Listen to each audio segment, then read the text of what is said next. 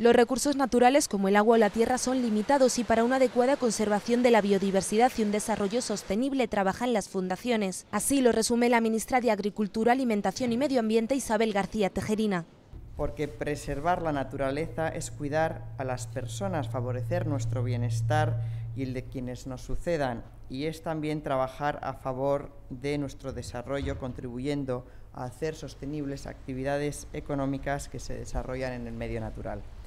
Miembros de la Administración y líderes de fundaciones que luchan a diario por mejorar las condiciones medioambientales se han dado cita en el Ministerio de Agricultura, Alimentación y Medio Ambiente para debatir el importante papel de estas organizaciones. Durante el acto presidido por la titular de la cartera, García Tejerina, ha subrayado la necesidad de avanzar hacia el aprovechamiento racional y eficiente de los recursos, porque a pesar del significativo avance de la población preocupada por la conservación de su capital natural en los últimos años, la concienciación sigue siendo insuficiente desde las fundaciones apelan a una mayor comunicación y sensibilización de la sociedad sobre el medio ambiente, porque como anuncia la directora de la Fundación Biodiversidad del Ministerio de Agricultura, Alimentación y Medio Ambiente, Sonia Castañeda. Hablar de biodiversidad es hablar de vida, es hablar de bienestar social y es hablar de economía. La biodiversidad está en nuestro botiquín, está en nuestra nevera y está en nuestros hogares, es la que nos facilita medicinas, es la que nos facilita alimentos.